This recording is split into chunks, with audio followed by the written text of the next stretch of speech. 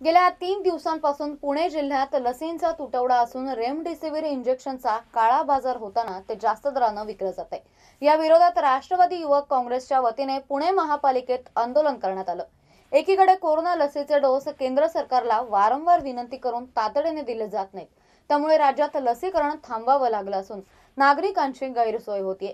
तसेच काही एकच डोस घेतला असून दुसऱ्या डोसच्या प्रतीक्षेत नागरिक आहेत. त्यामुळे महापालिका जिल्हा प्रशासन यांनी केंद्र सरकारशी चर्चा करून जादाची लस उपलब्ध करून घ्यावी.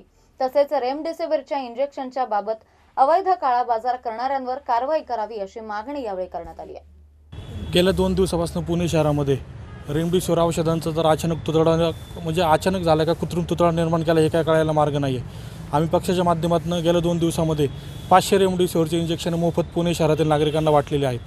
पण काल संध्याकाळपासून असं निदर्शनास येते की काही मेडिकल स्टोअर्सवाले किंवा काही जे औषध विक औषध विक्रेते किंवा डीलर आहेत ते रेमडेसिवीर दुप्पट टिपटीच्या किमतीने काळा बाजार काळा बाजारातनं ते औषध विक विकले औ मे मेडिकलवाल्यांकडनं विकले जात आहेत. त्याच्यानंतर विषय लसचा आहे. जर पु केंद्र सरकार सांगते की महाराष्ट्राला आम्ही एवढे टक्के लस दिली महाराष्ट्र सरकार सांगते की पुणे पालिकेला आम्ही एवढे टक्के लस दिल्या. मग आज रोजी सकाळीपासून खराडी चंदननगरमध्ये येथील रुग्णालय असो किंवा धनकवडे येथील रुग्णालय असो किंवा कोंडाबुद्रुक येथील रुग्णालय असो तिथले लसीकरण केंद्र बंद आहेत. व आयुक्तांना आम्ही आत्ता पत्र दिलं. तर आयुक्त म्हणतात की लस सगळीकडे तयार आहे तुम्ही दाखवा. नि आम्ही आयुक्तांना निदर्शनास आणून दिला असता.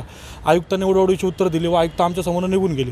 व त्यानंतर आयुक्त म्हणाले की आज दुपारपासून लस येणार आहेत व त्यानंतर पुढची केंद्र पूर्ववत होतील.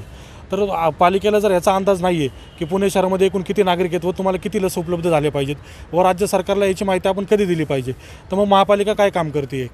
रेमडेसिवीर उपलब्ध नाही लसी उपलब्ध नाही जम्बो बे जम्बो हॉस्पिटलमध्ये जे राज्य सरकारने बांधून पालिकेच्या ताब्यात दिले पालिकेला ते सुद्धा व्यवस्थित ठेवता येत नाही आहे जर म्हणजे पुणे शहरातील कालचं जम्बो सेंटरचा मीडियाला फोटो आला होता की एक महिला ॲडमिट व्हायला आली होती व्हीलचेअर नाही तर ती रस्त्यावरती झोपली होती की आतमध्ये बेड उपलब्ध नाही म्हणून.